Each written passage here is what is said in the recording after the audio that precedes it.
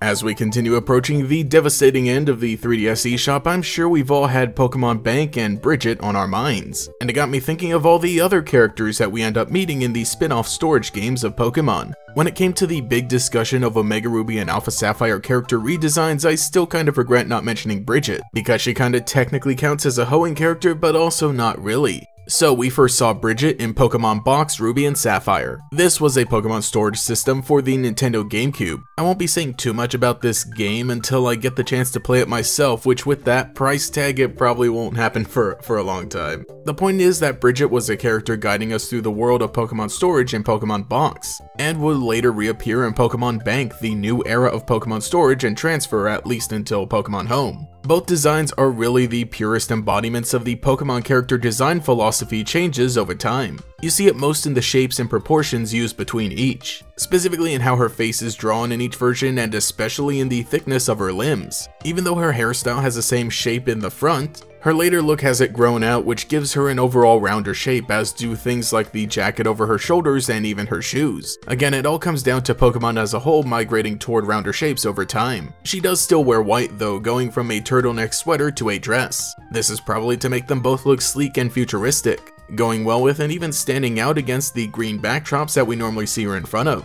And of course she used to be shown holding a Hoenn Pokedex, while now she seems to have a badge on her coat. I believe that this is a card meant to keep track of Pokemiles that you would earn from transferring Pokemon in. I've always found it interesting when Pokemon creates characters like this for a side feature in their franchise. Like, not even a full game. It's a cool way to keep everything connected and give a little bit of flavor to what would otherwise be a series of menus. And they didn't stop with just Brigette because we would eventually get My Pokemon Ranch on the Nintendo Wii. This was a WiiWare game that is nearly lost to time unless you had the foresight to download it on the Nintendo Wii shop before it shut down. This was a game where you could play with Pokemon and receive gift Pokemon from Hayley, the caretaker of the ranch. She's got a lot of stereotypically southern attire, the plaid shirt, vest, bandana, hat hanging around her neck. Pretty interesting, though it's also consistent with how the Pokemon breeders looked in Diamond and Pearl, as this game was released during the 4th generation. Feels kind of odd to say that I don't think this design is very deep all things considered because she is one of my favorite obscure Pokemon characters. The most fascinating part about her is that she's shown holding a Wii remote. This isn't really immersion breaking or anything as we often see Nintendo consoles inside the Pokemon world itself. But it is strange because we normally see Hayley outside with Pokemon and not inside next to a Wii console. Again, it does relate to the game that she originates from and even works as an advertisement for the Wii, but it's still such a weird thing to include in her key art. We have yet another character who did in fact receive a redesign with Professor Burnet,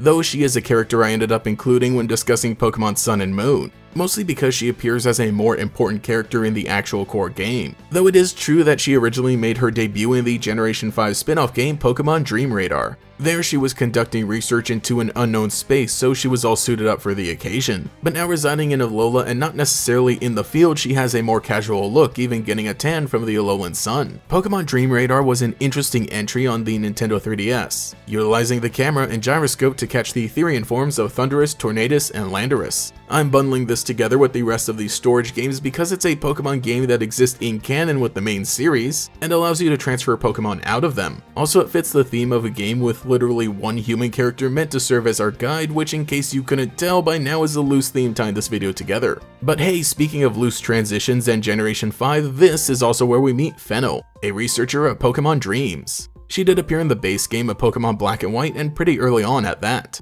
She was also the character who introduced us to the Pokemon Dream World, a browser-based game that we could send our Pokemon off into for a little fun adventure and bring back Pokemon with their hidden abilities. I do love that because this game was playable on the larger screen of the PC, we get to see some extra art of Fennel. These gave her some additional poses and facial expressions for when she would relay information to us in this now defunct game. Fennel herself has a nice design. She has very long hair that reaches all the way down to her calves and wears a lab coat keeping it buttoned up. Very different from the other professors we meet in Pokemon who normally wear it open. These give her a very elegant, almost dreamlike appearance. And noticeably, one of the other characters we meet in this game with very long hair is Caitlin, who also owns Psychic-type Pokemon and has a theme of dreams. Fennel also wears a pink shirt, shoes, and a flower hair clip that's meant to reference Musharna, the Pokemon powering the dream machinery and the subject of her research. With Pokemon Bank coming in Generation 6 and lasting into Generation 7 reintroducing Brigette, we didn't see many other characters like this until it was finally time to introduce Pokemon Home, the newest form of Pokemon storage. And with a new age of technology, we need a man of the future and that came in the form of Grand Oak.